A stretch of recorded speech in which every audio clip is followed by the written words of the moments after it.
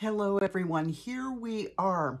Now, as promised, I did look into the scripture about the shrewd manager and about Jesus's comments um, about the whole situation. Now, the parable is interesting because in most of his parables, somebody in the parable will represent a good person or Jesus or the Lord you know, like the master of the vineyard, etc., the son of the master of the vineyard. In this parable, it's different because they are not, neither the master nor the mm. shrewd servant are particularly savory characters, okay? So Jesus tells the story and he says, you know, this guy was shrewd. He was making sure he had a home to go to once he lost his job, okay? By sort of uh, foxing the the master out of some money but the master saw him do it and called him shrewd and said wow you know. All right so then he goes on to say that the sons of light meaning us that we're not quite so shrewd.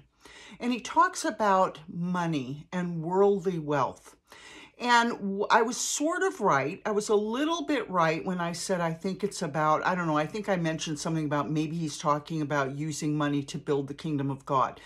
Well, that is exactly what he's talking about. He's talking about winning souls to the kingdom so that they will welcome you to your eternal home. In other words, making friends with worldly wealth, meaning putting your money into missions, you know, supporting a, a mission group, or tithing or offering or finding something like an orphanage in Uganda, like I have, and, and, and a, uh, another pastor who travels, walks the mountains of India, going to the absolutely furthermost tribes in India and preaches the gospel to them. Find things like that that you can put aside part of your money and support. And that's what Jesus is saying is be a little more shrewd, you know, with your resources. If you've got worldly wealth, excuse me, not meaning wealthy, just whatever you have, okay? Take part of it and build the kingdom. And that way, the friends you make along the way will welcome you to your eternal home. So that's what that meant, okay? So um, let's get going with Luke 17, okay? Here we go. Jesus said to his disciples, Things that cause people to stumble are bound to come, but woe to anyone through whom they come. It'd be better for them to be thrown into the sea with a millstone tied around their neck than to cause one of these little ones to stumble. So watch yourselves.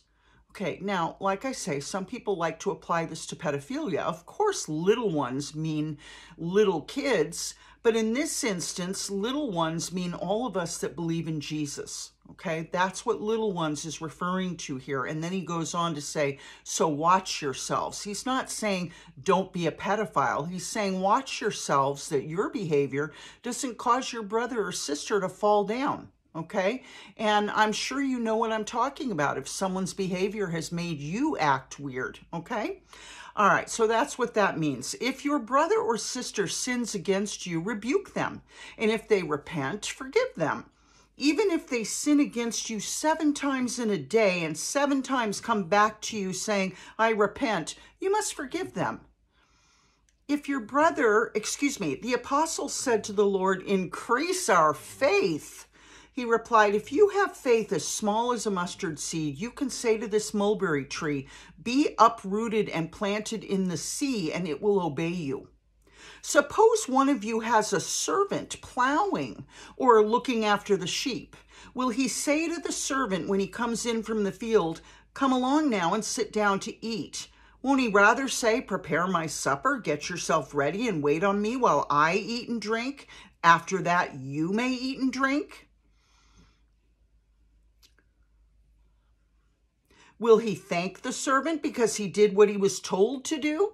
So you also, when you've done everything you were told to do, you should say, we are unworthy servants. We have only done our duty. Hmm.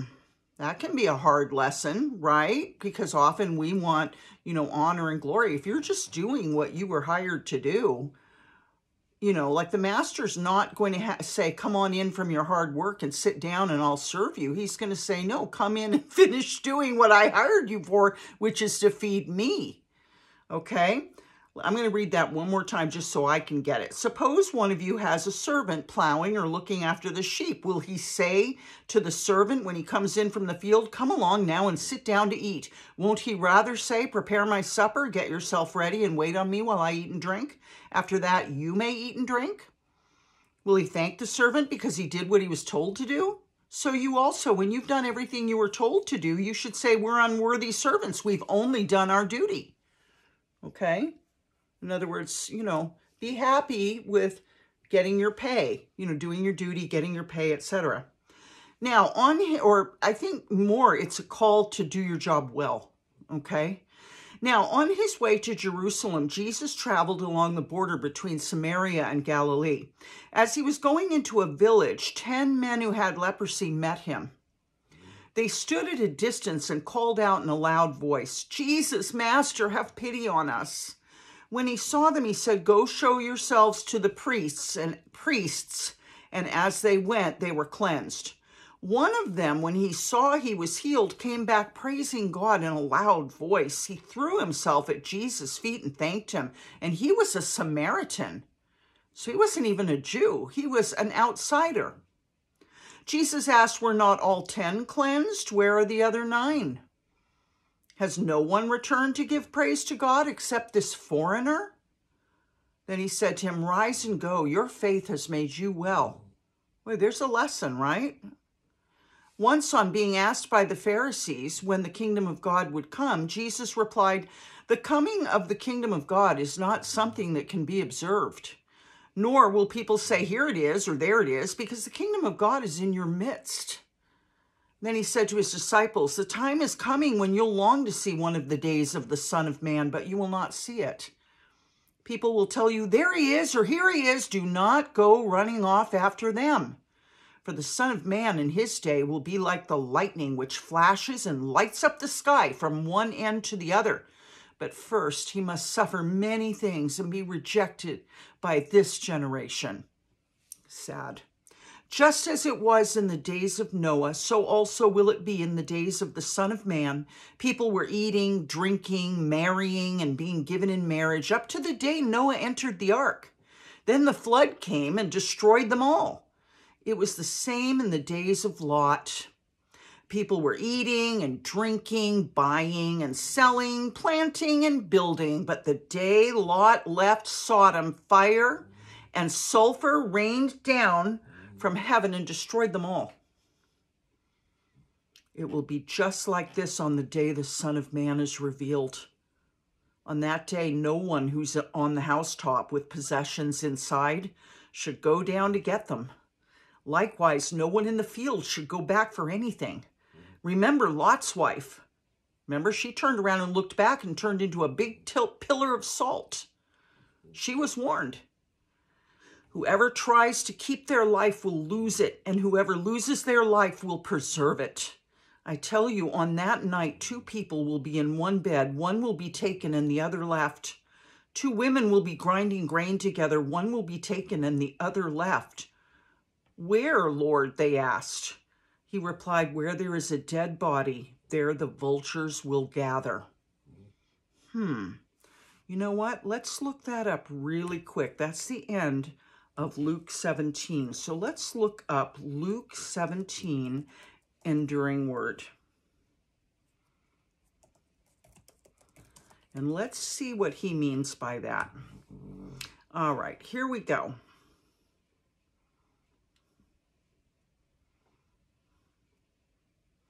Let's get all the way down here. The coming kingdom. One will be taken and the other left. Because, this is Pastor Guzik speaking, because this will happen during the normal course of life while one sleeps in bed, while another's grinding grain and another works in the field, the emphasis is on readiness. Jesus will come suddenly and at an unexpected moment. Two men in one bed, two women will be grinding grinding together. These words of Jesus may indicate that it will be day in one part of the world while it's night in another. That makes sense, and I've never thought of that. At the same time, some sleep, others work in a field. Jesus will come for his people all over the earth at one moment. All right, so let's be ready, okay? Luke 18. Then Jesus told his disciples a parable to show them that they should always pray and not give up. He said, In a certain town there was a judge who neither feared God nor cared what people thought. And there was a widow in that town who kept coming to him with the plea, Grant me justice against my adversary. For some time he refused, but finally he said to himself, Even though I don't fear God or care what people think, yet because this widow keeps bothering me, I'll see that she gets justice so that she won't eventually come and attack me. And the Lord said, Listen to what the unjust judge says. And will not God bring about justice for his chosen ones who cry out to him day and night? Will he keep putting them off? I tell you, he will see that they get justice and quickly. However, when the Son of Man comes, will he find faith on the earth? Let's brush up our faith, okay? Shine it up, polish it, put it out there. To some who are confident of their own righteousness and look down on everyone else, Jesus told this parable. I love this parable. Two men went up to the temple to pray, one a Pharisee and the other a tax collector. The Pharisee stood by himself and prayed, God, I thank you that I'm not like other people, robbers, evildoers, adulterers, or even like this tax collector. I fast twice a week and give a tenth of all I get. But the tax collector stood at a distance. He would not even look up to heaven, but beat his breast and said, God, have mercy on me, a sinner. I tell you that this man, rather than the other, went home justified before God. For all those who exalt themselves will be humbled, and those who humble themselves will be exalted. And that's once again the same as don't sit in the first highest seat at the dinner table, okay? Don't, because you might be asked to move down so someone more important can sit there, or that the master of the banquet favors. Take the low seat, okay? Don't go before the Lord and say, Thank you that I don't sin this way, that way, or the other. Go to him and say, Have mercy on me, a sinner. Because you know what? We're all sinners, okay? And you know that, and I know that. People were also bringing babies to Jesus for him to place his hands on them. When the disciples saw this, they rebuked them. But Jesus called the children to him and said, Let the little children come to me, and don't hinder them, for the kingdom of God belongs to such as these. Truly, I tell you, anyone who will not receive the kingdom of God like a little child will never enter it. We need to get rid of our hearts of stone, give our hearts of stone to the Lord, and let Him give us a heart of flesh, brand new, like when you were a child, just brand new. A certain ruler asked him, Good teacher, what must I do to inherit eternal life? Why do you call me good? Jesus answered, No one is good except God alone. In essence, he's saying, only God is good and I'm God. And yes, I'm good. You know what I'm saying? It's weird there. I'm going to read it again. Why uh, a certain ruler asked him, good teacher, what, what must I do to inherit eternal life? Why do you call me good? Jesus answered, no one's good except God alone. He might have been trying to suss out where, you know, if this guy believed he was God. Who knows? You know the commandments. You shall not commit adultery. You shall not murder. You shall not steal. You shall not give false testimony. Honor your father and mother. Now, false testimony we know means lies. You shall not lie. Liars are promised hell, okay? All these I've kept since I was a boy, he said. When Jesus heard this, he said to him, You still lack one thing. Sell everything you have and give to the poor, and you'll have treasure in heaven. That would call for a lot of trust, wouldn't it? Then come, follow me. When he heard this, he became very sad because he was very wealthy. Jesus looked at him and said, How hard it is for the rich to enter the kingdom of God. Indeed, it's easier for a camel to go through the eye of a needle than for someone who is rich to enter the kingdom of God. I guess because they can't imagine what it is to not be rich. Those who heard this asked, Who then can be saved? Jesus replied, What's impossible with man is possible with God. Peter said to him, We've left all we had to follow you. Truly I tell you, Jesus said to them, no one who has left home or wife or brothers or sisters or parents or children for the sake of the kingdom of God will fail to receive many times as much in this age and in the age to come, eternal life. Now, I'm kind of wondering, you know, when I read this, I think to myself, well, I've left my family behind, but I'm not out there on the road doing street ministry. I don't know. I'm I'm kind of you know how I say how scripture never loses its meaning, but it can minister to a lot of different situations? I'm going to claim this scripture and say that I have left my family. I could still be hanging on over there and trying to get along and going through all their drama but I just can't because it takes time away from Jesus Christ and the peace that I enjoy in him. All right. Jesus took the 12 aside and told them, We're going up to Jerusalem, and everything that's written by the prophets about the Son of Man will be fulfilled. He'll be delivered over to the Gentiles, meaning the Romans. They'll mock him, insult him, and spit on him. They'll flog him beat him, and kill him. On the third day, he will rise again. The disciples didn't understand any of this. Its meaning was hidden from them, and they didn't know what he was talking about. I mean, how could you imagine it? As Jesus approached Jericho, a blind man was sitting by the roadside begging. When he heard the crowd going by, he asked what, what was happening. They told him Jesus of Nazareth is Nazareth is passing by. He called out, Jesus, son of David, have mercy on me. Those who led the way rebuked him and told him to be quiet, but he shouted all the more, Son of David, have mercy on me. Jesus stopped and ordered the man be brought to him. When he came near, Jesus asked him, What do you want me to do for you? Lord, I want to see, he replied. Jesus said to him, Receive your sight. Your faith has healed you.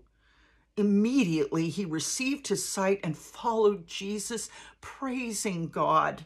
When all the people saw it, they also praised God. Luke 19. Jesus entered Jericho and was passing through. A man was there by the name of Zacchaeus. He was a chief tax collector and was wealthy. He wanted to see who Jesus was, but because he was short, he couldn't see over the crowd. So he ran ahead and climbed a sycamore fig tree to see him, since Jesus was coming that way.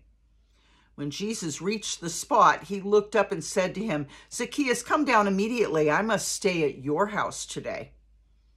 So he came down at once and welcomed him gladly.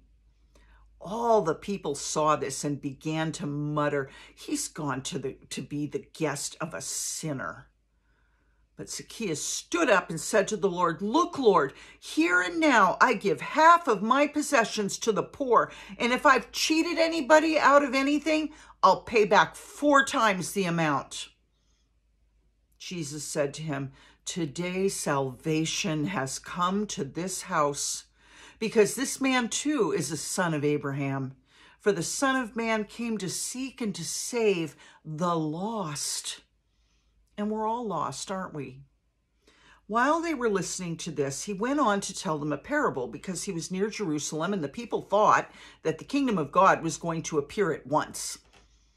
He said, A man of noble birth went to a distant country to have himself appointed king and then to return. So he called 10 of his servants and gave them 10 minas, M-I-N-A-S. It's a type of, it's a, a denomination of money. Put this money to work, he said, until I come back. But his subjects hated him and sent a delegation after him to say, we don't want this man to be our king. Called 10 of his servants, gave them 10 minas, put this money, okay. But his subjects hated him and sent a delegation after him saying to say, we don't want this man to be our king. He was made king, however, and returned home. Then he sent for the servants to whom he'd given the money in order to find out what they'd gained with it. The first one came and said, Sir, your mina has earned ten more. Well done, my good servant, his master replied, because you've been trustworthy in a very small matter. Take charge of ten cities.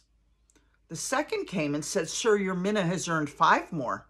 His master answered, You take charge of five cities. Then another servant came and said, Sir, here's your mina. I've kept it laid away in a piece of cloth. I was afraid of you because you're a hard man. You take out what you didn't put in and reap what you didn't sow.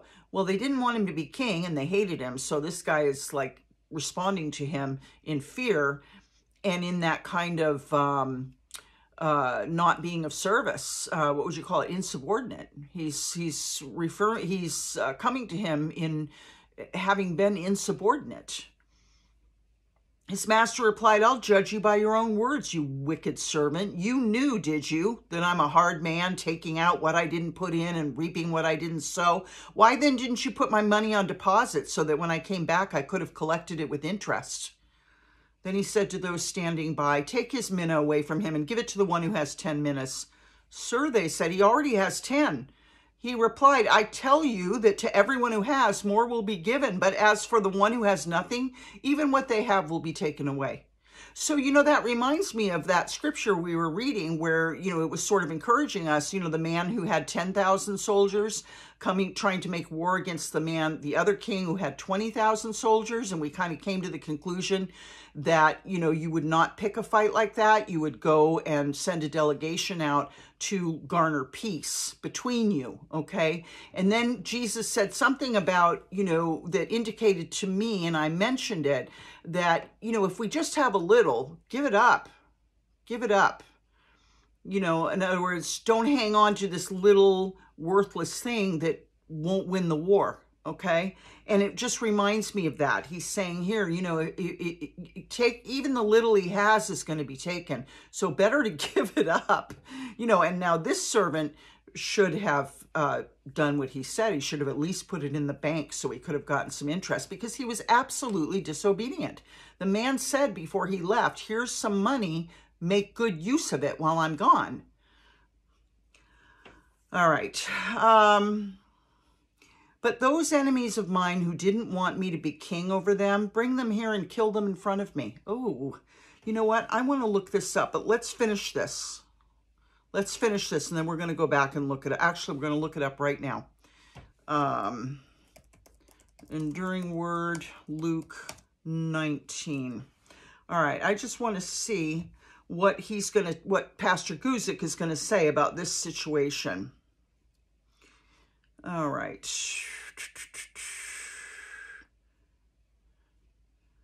Here we go. The parable of the stewards.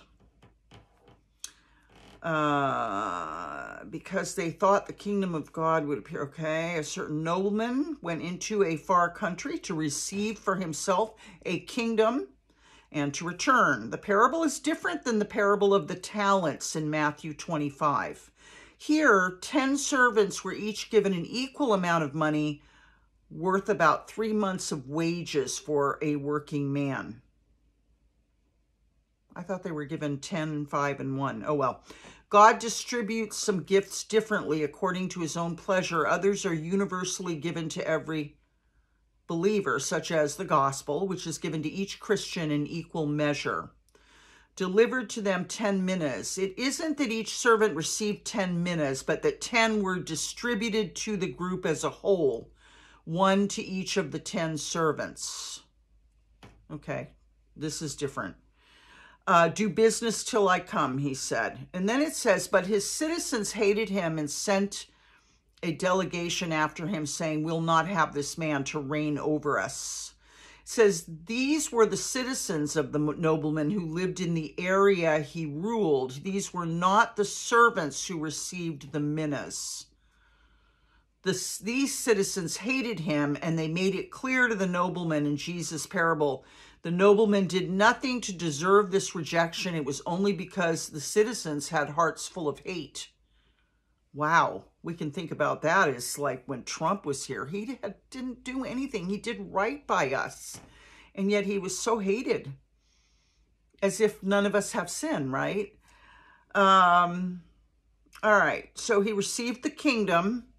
He then commanded the servants to whom he'd given the money to be called to him. The first came saying, Master, your mina has earned 10. Oh, okay, I was, I'm not remembering it correctly. They did get one mina each. And he says, Master, your mina has earned 10 minas. And he brought a good report. He did business and he had 10 more to show for it. That's an impressive 1,000% increase. All right. Master, your mina has earned five. And then that guy got five cities to rule over. All right. Then another came and said, I here's your mina back. All right. Um, and he says, out of your own mouth, I'll judge you. You knew that I was an austere man the master did not reward the third servant. Instead, he rebuked him because the great power of the master should have inspired the servant to greater diligence, not to disobedience and laziness. Okay, so it wasn't the servants that were hating him. Because uh, I think I said something like, well, they hated him, and or I don't know. I don't know what I said. Um, but it wasn't the servants that were hating him, but this servant was insubordinate, which is what I said. Okay. So then he says, For I say to you, to everyone that who has will be given, and from him who does not have, even what he has will be taken away from him. It says, The paradoxical, almost oxymoronic statement reflects the spiritual axiom earlier recorded in Luke 8:18 whoever is faithful to the Lord will be rewarded and whoever is not will suffer loss Light received brings more light. Light refused brings the night. And that was by someone named Pate, P-A-T-E, last name. All right, in the Christian life, we do not stand still. We use our gifts and make progress or we lose what we have. Okay, that's the crux of the whole matter. All right, then I'm going to go very quickly here to, but bring here those enemies of mine who didn't want me to reign over them and slay them before me. The servants all had to answer for their work in the master's absence, but at least none of them were guilty of treason. Man, this is appropriate to America. Now the master dealt with his enemies. We're, we're lucky that if Trump gets back in, that he's not going to turn around and slay all these people who've hated him, right?